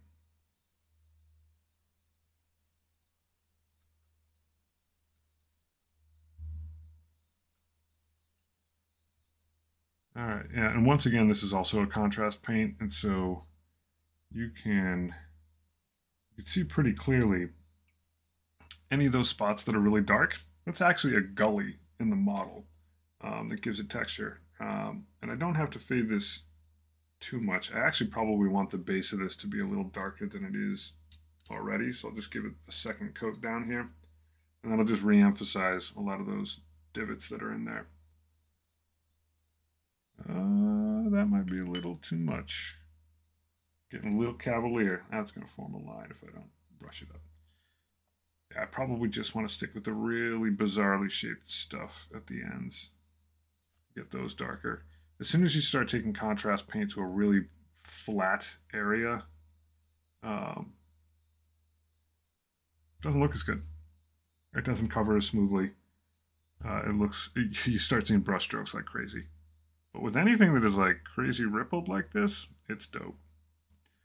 Um, I'm not using it on this, but like this kneecap, because it's round, contrast paint would be awesome on that because the actual normal edge of where that roundness is, like you'd get a, a light highlight. Oh, that's a good idea. I can just look that guy. Um, that's reasonably faded, and I don't want to mess with it anything any more than I did. I've gotten gotten the repaint of spot that I had missed last time, so that's good. As I create an increasingly large amount of spots that I can't touch on this model, paint myself into a corner. I think the last thing I'm going to do is a little bit of a wash. Uh, and I'll grab a slightly smaller brush. There are sections that I did in, what the heck color was it? Zandri dust? I think on camera it looks like this entire thing is the exact same tan, but it's not. Um, the knee pads and the shoulders are a darker color like the shins, the feet, those are all just Wraithbone with Seraphim Sepia as a wash. Which means they have a little bit of texture to them. But the kneecaps and pauldrons do not. And I can only tolerate that so much. I do get antsy until the washes come out.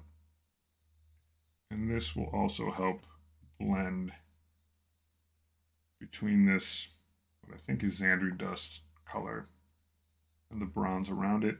It'll hopefully sort of repair any of the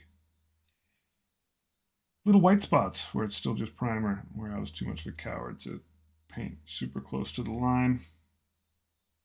All right, it's all right. A little bit of cowardice is fine.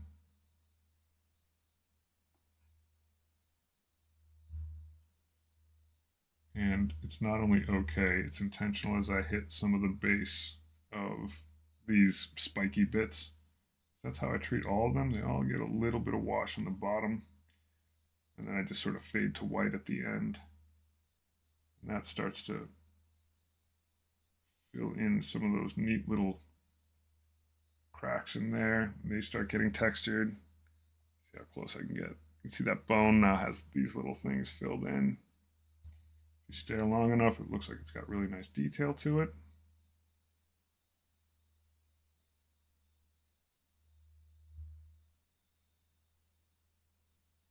And if your wash is pulling up like crazy, you just use your brush and push it around a little bit more. This is absolutely like, this is not painting. This is dabbing and wetting the whole thing. But all those little pock marks are in there. All this wash does is get right in there, all those cracks. And this may get a slightly darker wash at some point. I do have a wash called Mortarion Grime, which I do need to use somewhere. But this initial wash is to just A, darken these areas so they get a little different than the other spots. Um, and B, to make the model more pleasing looking while I paint it so that I enjoy myself. Because until the washes come out, I generally have less optimistic feelings about go over these skulls too. Same thing as the bones coming out. I, I always get a little antsy till the washes come out, and then you start seeing texture and like, oh, okay, this is why we're doing this. It takes it out of the like middle school art project and into the yeah, good, good. It's tough to tell. Like I have I can I have a monitor over here. Uh, it's like me staring at this tiny model and looking over at a model or monitor and staring again. It's like, oh, that doesn't really help either. But good, I'm glad it's picking it up. And then I'll hit these knees. Then got the paint the Zandri dust and just splotching it in there. Basically, as soon as you get a section the slightest bit wet, it'll just, it's not osmosis, but like it'll surface tension its way around into all these little cracks and stuff, which is really cool. It's a little heavy there, so I don't need to grab any more. I'll just pick some up there and just bloop working around that skull. I hit that skull with a little bit more, but getting his little eyes. Poke his eyes. All right. Just keep peeking around a little bit. This stuff dries quicker than you think. It's still damp, but as it gets clumped up, it's often a good time to just kind of go back with a brush and just move it around again, just so it doesn't sit in there too, too thick. You don't want to absolutely fill every little corner in with too much of it. There we go. There we go. Alrighty. I think for my last my last thing I'll do tonight is that one other coat of Plaguebearer Flesh on Mortarion's face, and then I think I'm to call it a night. I'm very pleased with how these wings turned out. Actually, I'll do the proper cut. I'll do the thing I said I was to do, and then I'll then I'll outro. Uh, Have to do right in your face. Second coat.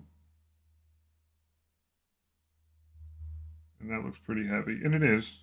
but I'm only going to dab so much out of it. There's a weird thing that happens with this paint, actually. The proper way to do this is to just, to just touch, gentle touch, where it's pulled up. The paint cures. The paint absolutely soaks into the layers of paint beneath it, absolutely mixes with it. Um, and it's not just a matter of having a black base versus a white base. Um, you know, this green would not look the same if it hadn't had that lighter yellow around that edge, uh, which is really crazy because you just keep adding layer upon layer upon layer. And you can, with really thick white or black, with a couple coats, like negate that whole thing and start from white or black again. Um, but by and large, every single every single model I've done, without exception, looks different the next day when I pick it up. Uh, and that's for me the scariest part. Is like where it looks like like middle school paint project while you're doing it and it's really it can be really frustrating. You can get a lot of doubts. But then the paint cures in and it dries and it finishes blending. And with washes they finish getting into every crevice. Like it didn't look that dark when I just got started with it but now that it's soaking in makes a big difference as I put my thumb on the spot that I just hit. That was a great job. Um, it does like it looks significantly darker than when I started putting the wash on, and that's just with a few minutes.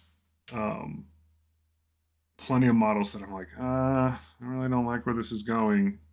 When I put them down at night in the morning, they don't necessarily look dynamite every time, but they look different and they look more coherent.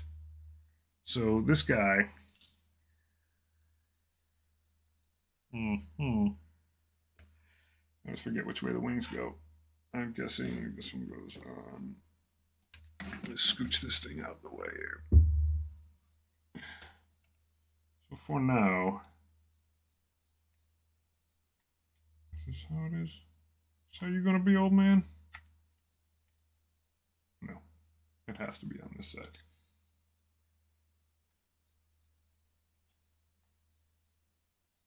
Struggle is real. Yeah. I mean, so theoretically, like that's the basic whole color scheme. It's purple to blue to green to red. The purple and blue on the cloak stuff will be probably matched. It'll probably be purple out the top of here. Um, but it's all a lot of light colors. There's still plenty to do. That's the basic scheme. I wanted him to look sickly. I didn't want to do the green armor that is on, you know, the wide variety of stuff that I've already done. That's that guy's super dark, but he's typhus. He's dark in his soul. He got a little nurgling on him. Like this guy's super dark. I wanted this guy to stand out for different reasons. So he gonna, but I don't know. I I still got days more work. There's still plenty of parts to attach to him that haven't been attached yet. This is Luke Skywalker hand and on his scythe. Haven't even touched that yet. Uh, so there's still plenty to do, but I feel like this is a good point to wrap it up, let the guy dry out, um, call it a night. So, folks, and by folks, I mean Tim, it was absolutely a pleasure having you stop in. It was great to see you, um, or at least see your tea and your words uh, scrolling up the screen. Uh, we should catch up soon.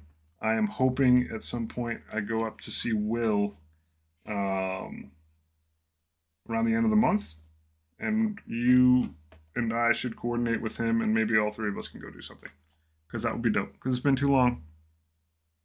Anyhow, it's been a pleasure. Good night. Bye bye.